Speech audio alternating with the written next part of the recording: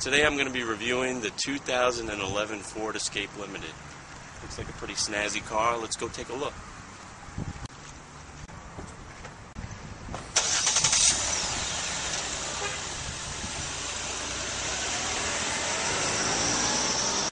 Let me start off by saying I've become a big fan of Ford over the last couple of years. They have begun to design cars that are fun to drive, that have the latest technology, that are designed well, built well, all at affordable prices. The interior materials are really high quality. The fit and finish of the interior is impeccable. I think the design is great. From a technology standpoint, Ford has been very out in front.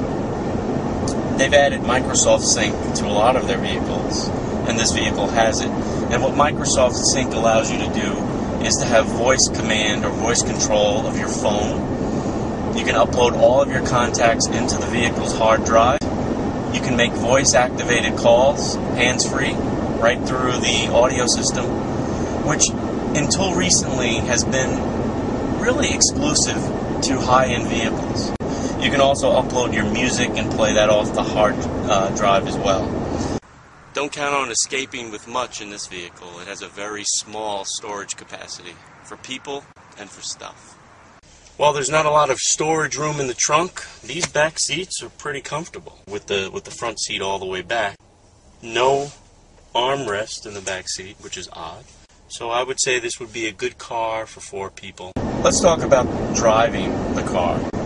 Uh, it's fun on the highway. It's peppy. It's very precise. It's very sporty. On the highway, I've never felt like the car was uh, swaying or leaning into another lane. Every action that I make is very controlled. You, you feel very confident. You've got the power that you need to pass other vehicles on the road. It's just really a pleasure to drive. It's just as fun to drive in town as it is on the highway. There, there is one slight issue with this vehicle the back headrests, there are three of them. There's actually a headrest for the middle position. They really block a, a good deal of the back window. Now, I've noticed that someone who rented this car previously has um, raised the headrests, but even with them in their full or their down position, there is a substantial piece of the bottom of the back window that's blocked where that's come into play on the highway has been in, in trying to, to switch lanes, especially going to your right. You're not 100% sure at first glance if you're safe to move into that next lane. I'm really torn on this review because I really enjoy so many things about this vehicle. It's fun to drive, it's stylish. Um, it's peppy, but it, it does have some things that, for an everyday vehicle, would probably eliminate it from my search. It's short on storage.